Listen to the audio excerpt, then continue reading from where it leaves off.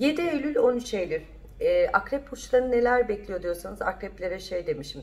Direnişin ve zaferin kazanı. Yani direndiğiniz her şey ya da kafanızda kurduğunuz her şey ya da planladığınız ve konuşmak istediğiniz kim varsa içinizdeki öfkeniz kim neyse bu hafta hepsiyle yüzleşme haftanız olacak ve içinizdeki öfkeniz, haksızlıklar, işinizde yaşanan kaosların hepsini dile getireceksiniz ve gerçekten bu söylemler, bu ifadelerde kişiler sizden özür dileyecek ve hak ettiğiniz yer ya da e, hakkınızla ilgili söylenen dedikodular, iftiralarla ilgili yüzleşme haftanız ve Allahu Teala tarafından bu hafta hakkınız olan özürleri kabul edeceksiniz ve bir daha e, silmeniz gereken dosyalarınız ya da bırakmanız gereken iş kapınızla ilgili de radikal karar verip kendi yönünüzü tekrar kontrol edip yeni bir hayat kararı vereceksiniz. Bazı akrep burçlarında demişim kurumsal ya da devlette çalışıyorsanız yerinizde özellikle devlette değil de kurumsal büyük firmada ya da ne bileyim çorap tekstilinde çalışıyor olabilirsiniz. Büyük bir firma.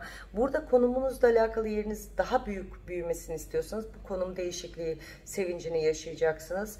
Ve bazı e, iş yerinizde bir değişme ya da farklı bir yere gitmekten kaynaklanan ev değişiminiz söz konusu olacak diyebilirim bazı akrep burçlarına. Bazı akreplere de demişim ki saç dökülmesi saç ekimi. Bu erkekler için genelde kadınlarda bilmiyorum e, saç dökülmeleri e, ön planda mı bilmiyorum ama erkeklerde saçla alakalı takıntılar başlamış.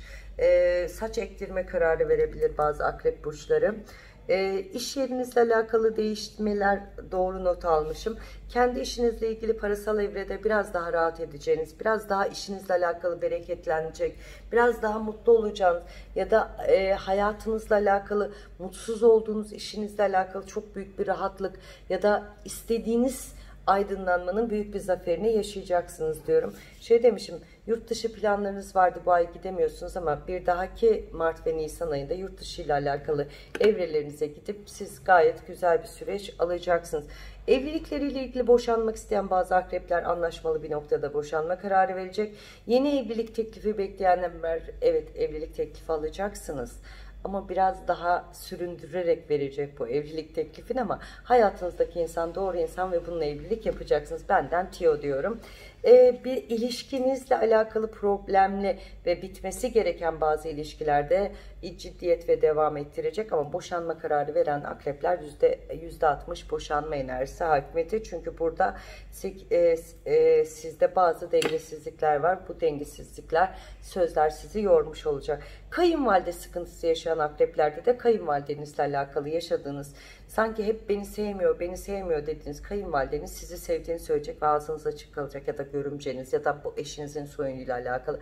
Aslında siz seviliyorsunuz ama diliniz sert olduğu için insanlar size sevgisini ifade edemiyor. Biraz daha yumuşak olsanız herkes size daha rahat bir tavır sergileyeceğini söyleyebilirim. Evet sizde de evde e, elektronik olan bazı şeylerde bozulma dönemi olabilir.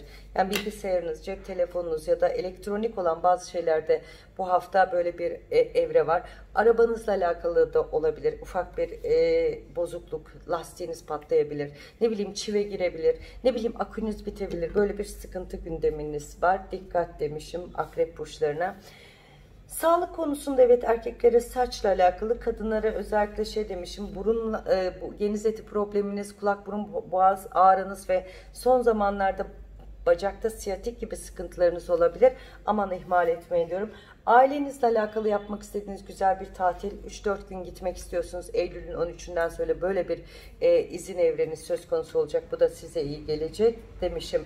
Güzel sürpriz telefon görüşmeleriniz ve e, çok keyifli bir hafta. Bunu çok iyi değerlendirdiğinizde de maddi olarak e, güzel rahatlıklar.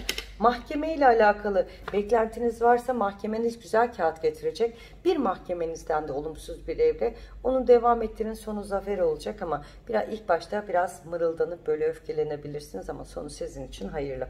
Evet, yükselen vay burcunuzu dinleyin. Sevgide kalın, umutta kalın, aşkta kalın.